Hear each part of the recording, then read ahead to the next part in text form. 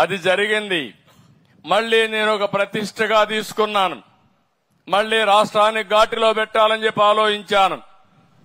ఎప్పుడూ జరగని విధంగా మీరు చూస్తే నూట ఇరవై సంక్షేమ కార్యక్రమాలు ఇస్తూ అభివృద్ధి కార్యక్రమాలు చేస్తూ సంపద సృష్టించే మార్గాలకు ముందుకు పోయాం. దానివల్ల పదమూడు పాయింట్ ఐదు శాతం జీఎస్టీపీ అభివృద్ధి అయింది. పేదవాళ్ళ తలసరి ఆదాయం అందరి తలసరి ఆదాయం పెరిగింది. మీ జీవన ప్రమాణాలు పెరిగాయి. కానీ రెండు వేల పంతొమ్మిదిలో మళ్ళీ మీ ఆలోచన మారింది. ఒక సైకోని తీసుకొచ్చుకున్నాం. అక్కడి నుంచి ప్రారంభమైంది గుద్దుడే గుద్దుడు. బూతులే బూతులు. నేను అడుగుతున్నా ఈ నియోజకవర్గంలో ఎప్పుడైనా ఇలాంటి మీటింగ్ జరిగిందా అని అడుగుతున్నా మిమ్మల్ని. ఎన్టీ రామారావు గారు కట్టిన స్టేడియం అది మా పార్టీ కట్టిన స్టేడియం అవునా కాదా అని అడుగుతున్నా. నేను ఇక్కడ రాలేకపోయా. అంటే ఏంటి ఆ రాచకం? ఏంటి ఆ విధ్వంసం? మాట్లాడితే బూతులు ఈ కాన్స్టిట్యున్సీలో ఏం జరిగిందో మీరు చూశారు. ఆడబిడ్డలు కూడా సోషల్ మీడియాలో కడాన అందరూ ఉన్నారు. నాకు కూడా తప్పలేదంటే ఆ బాధలు. ఎలాంటి పరిపాలన సాగిందో ఒక్కసారి మీరు ఆలోచించండి. అలాంటి మాఫియా ఒకటి కాదు అన్ని మాఫియాలే.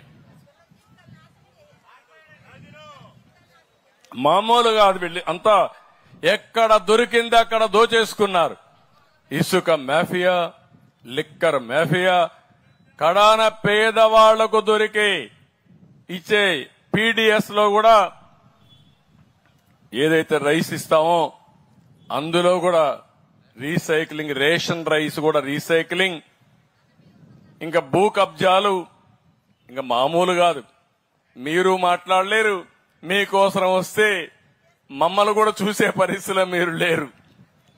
అలాంటి క్యాసినో మా తమ్ముడు చెప్తున్నాడు. క్యాసినో ఇక్కడ ఆడిస్తే ఇదేంటి మారి చేస్తున్నారంటే దానిపైన దాడి. అన్ని మనం చూసాం బూతులు. అందుకే తల్లి నేను అసెంబ్లీకి పోవడం మానేశా. ఆ రోజే నేను చెప్పా ఇది గౌరవ సభ కాదు గౌరవ సభ. మళ్ళీ క్షేత్రస్థాయిలో గెలిచి అసెంబ్లీని గౌరవ సభగా చేసి ఎంటర్ అవుతారని చెప్పాను. ఏమమ్మా ఇప్పుడు ఎక్కడన్నా బూతులు నిలబడొస్తున్నాయా మీకు? ఎక్కడన్నా భూ కబ్జాలు కనపడుస్తున్నాయా అని అడుగుతున్నా మిమ్మల్ని. మీరందరూ కూడా ఈరోజు ఫ్రీగా నవ్వుతున్నారు. నాకు ఎంతో సంతోషం. అప్పుడు నవ్వు కూడా నోచుకోలేదు మనం. అవునా కాదా? ఈరోజు స్వాతంత్రం వచ్చిన సందర్భంగా మనం గుర్తు చేసుకుంటే స్వేచ్ఛగా మాట్లాడుకోలేకపోయాం. ఫ్రీగా నవ్వలేకపోయాం. ఆ వ్యక్తిని చూస్తే నవ్వితే కొడతారు. ఏడిస్తే కొ- మళ్ళా కొడతారు. కేసులు పెడతారు. ఇంట్లో నుంచి బయట రావాలంటే ఇంట్లో హౌస్ అరెస్టులు చేస్తారు.